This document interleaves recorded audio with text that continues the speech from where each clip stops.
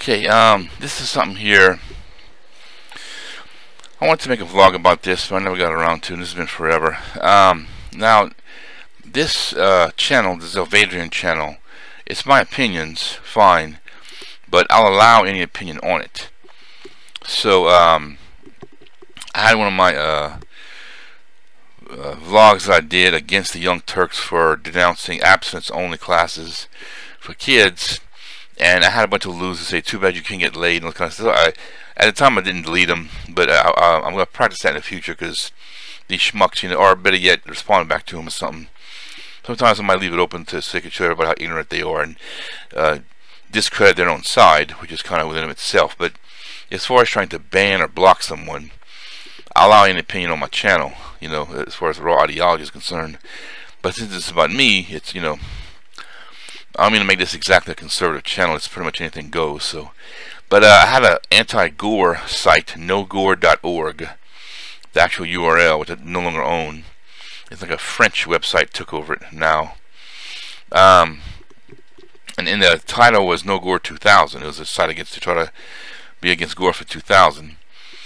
And uh, I took note almost every few days about how many web hits I got on. I had a counter uh, from I think digits.com. I don't think they host that anymore or whatever, but there's a million clones that do the same thing today. That was kind of a fad in the 90s. Now it's social media is taking root. Pretty much everybody has their social media page, and it's not so much their own website anymore. So you have to buy your own domain name now and pay for hosting and all that. So it's a free thing. So you know. But anyway, um, the stats of the hits that I got, nogore.org, were like this, as this chart shows. Um, during the announcement, uh, or six months prior, like he did, like in the June of '99 or whatever, yeah, that kind of rising action. Around December of '99, since 2000 was the election year, November something 2000, I have to look that up. November 2000, first Tuesday in November, I think it is, every year, every presidential year. And uh, primaries and caucuses, that's where everything cooks up. It starts really heating up because they're all battling for the nomination, the two major parties. Okay, so uh, Super Tuesday and Super Tuesday 2 is, I think it's sometimes officially or unofficially called, whatever. And then you pretty much have the nomination locked down, or you do have it locked down. And the third party is barely making a blip on the radar. I think Ross Perot was only the time the third party got some real notoriety. I was in the 92 race.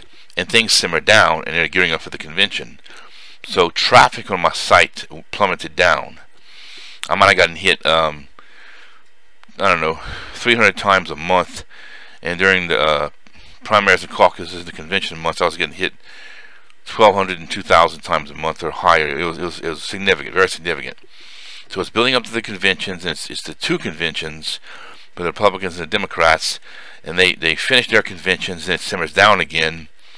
And that last uh, six weeks, two months, whatever, before the election, it cooks back up again with the debates and the actual election night. Now, notice this hump that I have for the election. It's not uh, a bell curve. It, it's it's sloppy, tilted, and right in the election night, I have it plummets. It plummets down. I did it on purpose because that's how it was with traffic on my site. In spite of the fact is that there's a controversy in Florida, the Florida ballots. Um, and Al Gore uh, withdrew his concession to uh, Bush uh, Jr. and said, uh, "Nope, nope, I'm not acknowledging defeat yet because we got to recount this and recount that." And there was, there was discrepancy and all this kind of stuff, uh, the pregnant chads and all this kind of stuff, the butterfly ballots and all that. But uh, my traffic went down to just zilch. On election day, the 24 hours, I got hit 2,000 times in 24 hours. That was outrageous. I started my site um, I have written down. I, I kept the composition. I kept notes of it, but like uh, September or earlier of '98, and um, so that that was two years up to November of '98. So two years and a few months, and I got hit under 80,000 times. It was like 72,000 or 73,000 or something like that and my site wasn't being promoted. I wasn't spending advertising time, and I didn't get some big endorsement from whatever. Um, I think uh, one of my friends had a boss who said Walton and Johnson, or whatever their names were, mentioned my website on their radio show or something, but I don't know if that was a supposition or he heard something wrong or whatever, but I don't know, weird. But anyway, um, so um, well, with all that being said, and I had my uh, site trafficking stats from my web host that allowed me to see where I got my traffic from, and it was all the sites that I already knew about that I swapped links with. They had um, gwbush.com, which was a hilarious story. It was a fake uh, spoof Bush site, which which uh, ticked off the real George W. Bush, and that was something, different things like that. So for your election cycle with web traffic, it's not that it's stacked. This goes for the 2000 race before social media, as we know it took its took root. But this is what a presidential election uh, internet traffic looks like when people are logging in. So expect to have low traffic in between the primaries and caucuses, the conventions, and right after the conventions for it to cook up with the debates in the election.